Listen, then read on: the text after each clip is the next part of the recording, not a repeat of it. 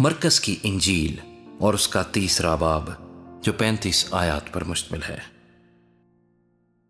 और वह इबादत खाने में फिर दाखिल हुआ, और वहाँ एक आदमी था, जिसका हाथ सूखा हुआ था।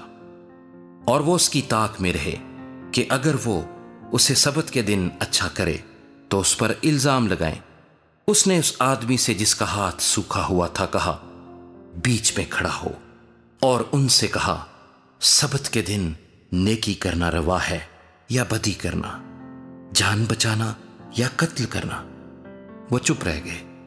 उसने उनकी सख्त दिली के सबब से गमगीन होकर और चारों तरफ़ उन पर गुस्से से नज़र करके उस आदमी से कहा, अपना हाथ बढ़ा।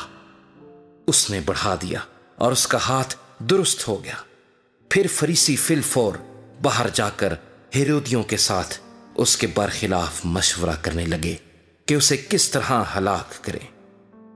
और यीशु अपने शागिर्दों के साथ झील की तरफ़ चला गया और गलील से एक बड़ी भीड़ पीछे होली और यहूदिया और यरूशलीम और इदूमिया से और यर्दन के पार और सूर और सैदा के आसपास से। एक बड़ी भीड़ यह सुनकर कि वो कैसे बड़े काम करता है, उसके पास आई। बस उसने अपने शागिर्दों से कहा, भीड़ की वजह से एक छोटी कश्ती मेरे लिए तैयार रहे, ताकि वो मुझे दबा ना डाले। क्योंकि उसने बहुत से लोगों को अच्छा किया था। चुनाचे जितने लोग सख्त बीमारियों में गिरफ़्तार थे, उस पर गिरे पड़ते थे कि उसे छू लें और नापाक रूहें। जब उसे देखती थीं, उसके आगे गिर पड़ती और पुकार कर कहती थीं कि तू खुदा का बेटा है। और वो उनको बड़ी ताकीद करता था कि मुझे ज़ाहिर ना करना।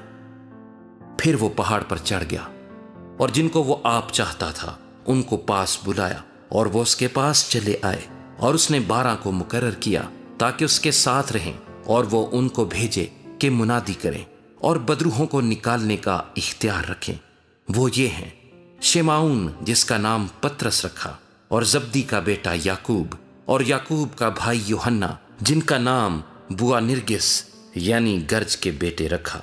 और इंद्रयास और फिलिपुस और बर्तलमाई और मत्ती और तोमा और हल्फई का बेटा याकूब और तद्दी और शेमाउन कनानी और यहूदा इसकरियूती, जिसने उसे पकड़वा भी दिया। वो घर में आया और इतने लोग फिर जमा हो गए कि वो खाना भी ना खा सके। जब उसके अजीजों ने यह सुना तो उसे पकड़ने को निकले, क्योंकि कहते थे कि वो बेखुद है और फकी जो यरूशलीम से आए थे, ये कहते थे कि उसके साथ बलजबूल है और ये भी कि वो बदरूहों के सरदार की मदद से बदरूहों को निकालता है। वो उनको पास बुलाकर उनसे तमसीलों में कहने लगा कि, शैतान को शैतान किस तरह निकाल सकता है?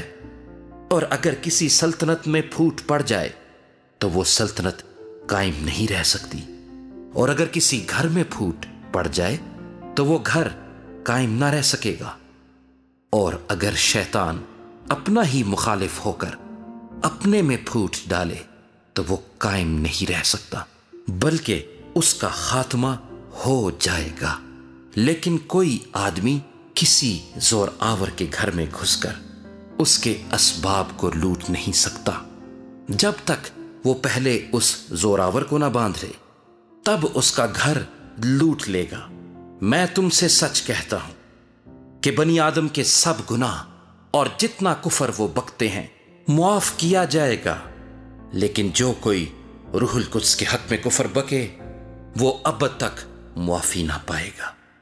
बल्कि अबदी गुनाह का कसूरवार है, क्योंकि वो कहते थे कि उसमें ना पाकरू है। फिर उसकी माँ और उसके भाई आए और बाहर खड़े होकर उसे बुलवा भेजा और भीड़ उसके आसपास बैठी थी। और उन्होंने उससे कहा, देख तेरी माँ और तेरे भाई बाहर तुझे पूछते हैं। उसने उनको ये जवाब दिया, मेरी माँ और मेरे भाई कौन हैं?